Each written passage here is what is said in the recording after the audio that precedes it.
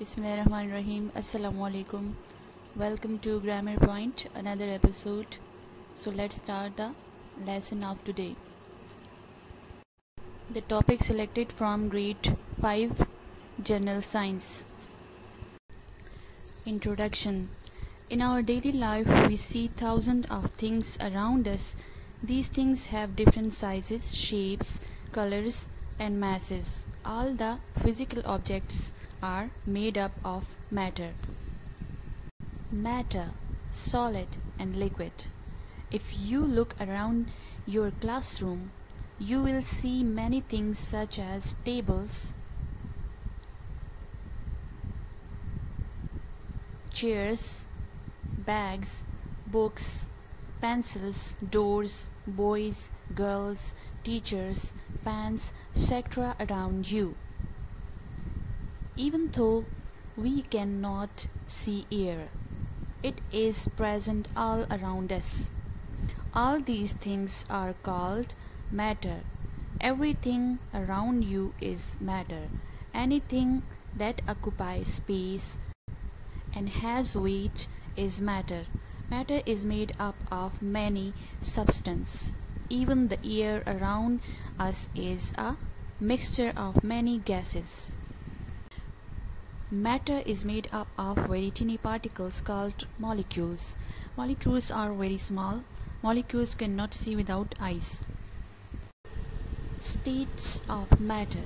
The three states of matter are solid, liquid, and gas. Solid. Touch a book, a pen, or a stone. All of them are hard. They are called solid objects. Solid are usually hard because they are their molecules are packed together very closely and tightly. Solid have a fixed shape and volume. Liquid. Another state of matter is liquid. You drink water, milk and juice. All of them are liquid. You cannot hold them in your hand as like solid. They do not have a fixed shape. They take the shape with the container in which they are kept.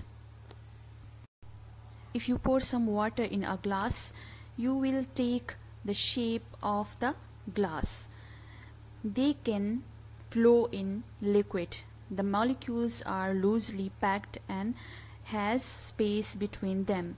The molecules can move can move around a little freely. Liquid have a fixed volume 1 liter water is remain 1 liter but when you pour in a bucket or a tub. Have you seen steam is coming out from the spot of a kettle? Steam is a gas. It has no fixed shape and volume. The air around you is also ga a gas.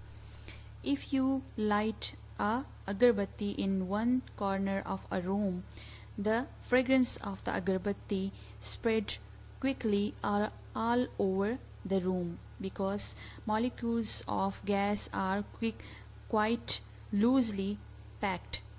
They can move easily, freely and can flow easily. The molecules of a gas has much of space between them. They are not closely patched together. If you fill air in bicycle tube, it capacity available inside the tube.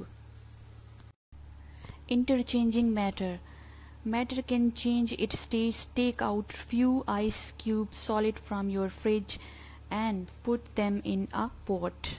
Leaves the ice cube for few minutes.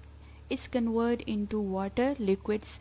Now boil this water liquid after a few minutes the water convert into steam gas. Thus a solid can be converted into a liquid and liquid in a gas. Similarly, a gas can also be converted into a liquid and liquid can be converted into a solid. You have le already learned that water vapors gas can be condensed to for a liquid water and on further cooling it freezes to form a solid ice. So matter can be changed from one state to another by heating or cooling.